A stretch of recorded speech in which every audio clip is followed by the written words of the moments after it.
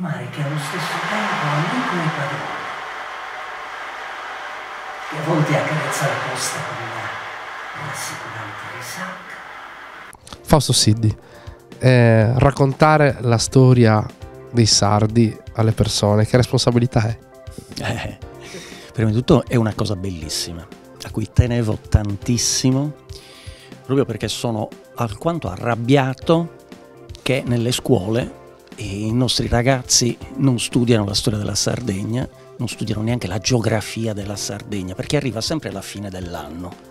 E, e sia le maestre in quinta elementare quando si fa l'Italia, sia le, i professori in prima media, eh, invece di cominciare con la tua regione, con tuo, la tua nazione, ma anche per sapere, oh, io sto qui e non posso non cominciare da me non posso non cominciare da, dai miei padri, dai miei nonni, eh, per andare poi avanti, per conoscere il mondo.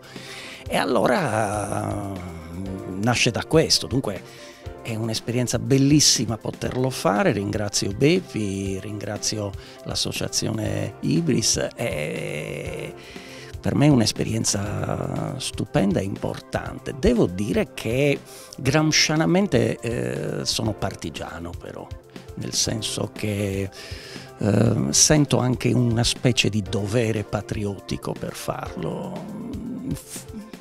Quando lo dico ad alcuni miei amici mi prendono un po' in giro, ma io ce l'ho, non so che farci, ce l'ho.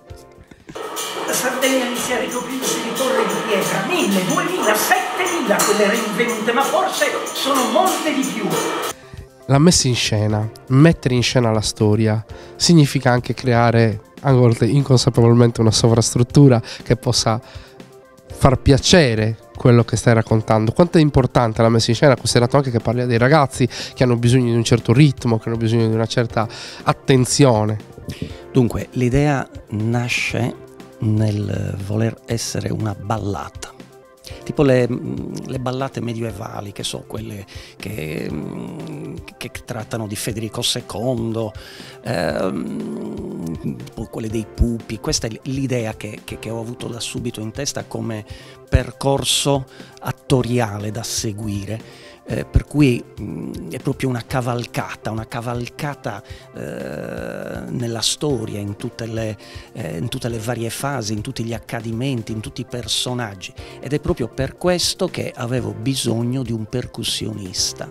E, e, e l'abbiamo trovato un bravissimo Alessandro Azzori con cui ci sono tanti eh, paesaggi sonori diversi, sempre di tipo di percussioni, che, ci, che mi permettono proprio di avanzare, proprio come se stessi dentro un cavallo, eh, sopra un cavallo.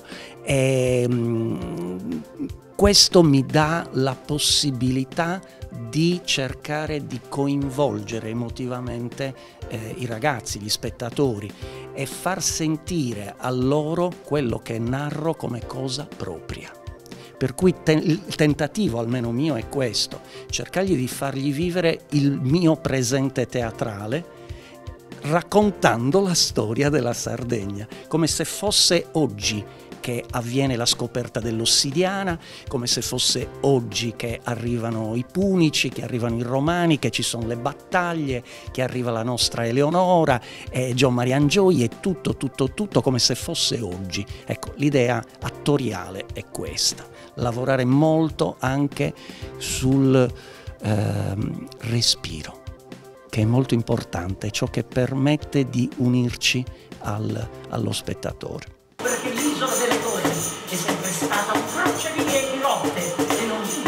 arrivano per la prima volta. Qual è il momento della storia che ti esalta di più della, della nostra storia? È poco maschile. Quando Eleonora d'Arborea decide da donna che spetta a lei prendere in mano la storia dei sarti.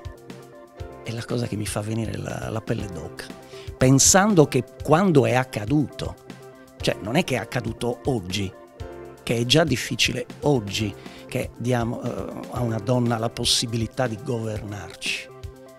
Eh, immaginiamo nel 400, cioè è una cosa straordinaria.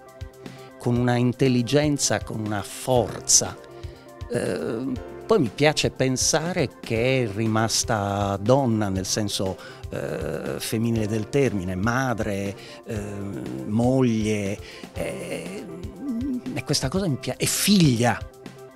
È bello, bello, ecco la cosa che mi fa. Certo, devo dire che Gio Marian Joy, anche lui.